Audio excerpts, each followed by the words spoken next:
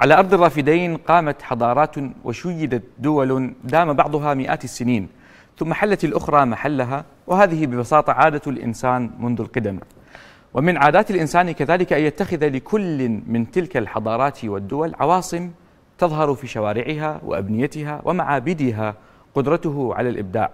وتعكس كذلك رفاهية الحياة التي كان يعيشها أبناء تلك العواصم ومنها مدينة واسط الأثرية التي سنتعرف إليها مع الزميل عباس العيساوي.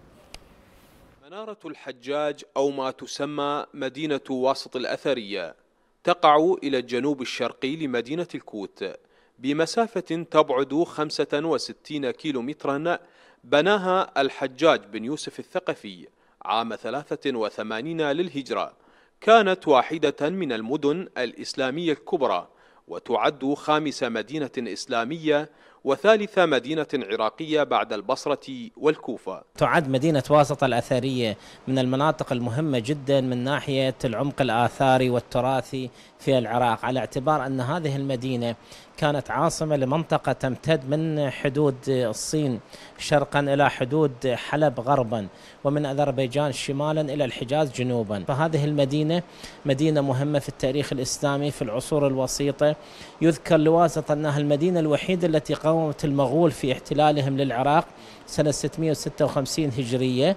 هذا المكان بني آه، ليس لفترة زمنية قصيرة وإنما مستخدمة من طابوق ومن مواد أولية آه، هي آه، بقت صامدة أمام المؤثرات المناخية والجغرافية لفترات طويلة واليوم باقي باقي البوابة هي شاهد.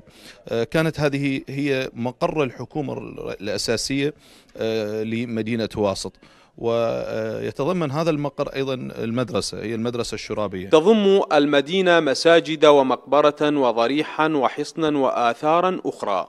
لا تزال مطمورة تحت الأرض وأكدت مفتشية آثار واسط إنها مستمرة في البحث والتنقيب لاكتشاف المزيد من آثار وكنوز هذه الأرض. تمت عليها في ذلك الوقت في سنة 1600 1936 آه، جرت عليها تنقيبات من قبل الهيئة العامة للآثار والتراث وثم تم صيانتها سنة 65 آه، 1965 آه، من قبل الهيئة العامة للآثار وتم صيانتها سنة 2022 من قبل الهيئة العامة للآثار.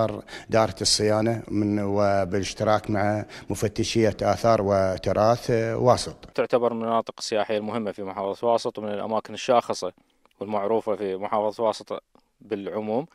طبعا اللي نتمناه واللي يعني ندعو إليه أنه يتم الحفاظ عليها أكثر ودعمها أكثر. إنشاء هذه المدينة الأثرية كلف واردات العراق آنذاك مبلغا يقدر بثلاثة وأربعين مليون درهم.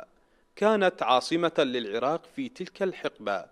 تراجع دورها كمركز إداري عقب سيطرة العباسيين على العراق وتأسيسهم لمدينة بغداد. بعد أن طالها الإهمال والتخريب لسنوات وزارة الثقافة والسياحة والآثار بالتعاون مع مفتشية آثار واسط قامت بتطويرها وترميمها لتكون قبلة للسائحين الذين يقصدونها من داخل وخارج البلاد.